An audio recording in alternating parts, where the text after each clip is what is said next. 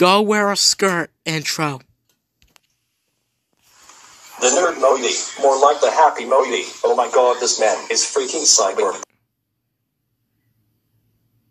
Bur. The nerd emoji isn't cyberbullying. It's funny. It's only meant for trolling. Besides, this proves you can't handle trolling. Yes, the hell it is. And also, stop pulling the trolling card. Like, I swear to God, these users keep pulling cards just to deny criticism. I will tell you the reasons why I hate this man. 1. It is cyberbullying. 2. It is name calling. 3. It's using it in the wrong context, and it's basically calling them smart. And 4.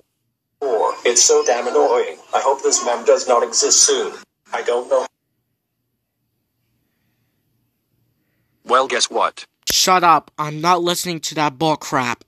Man, but do you know who hates this man? Nice Science Guy 722 and Foxy the Fox 110. As for Nice Science Guy 722, he hates this mem so much. And Foxy the Fox 110 told me to put her in this spot. So screw the nerd emoji and screw Beeman.